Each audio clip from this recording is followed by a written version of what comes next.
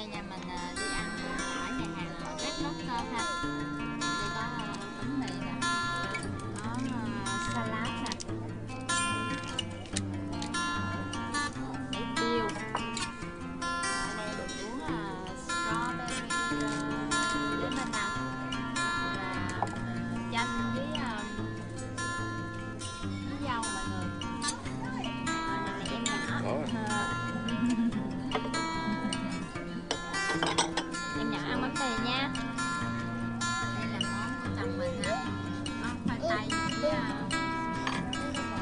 Damn.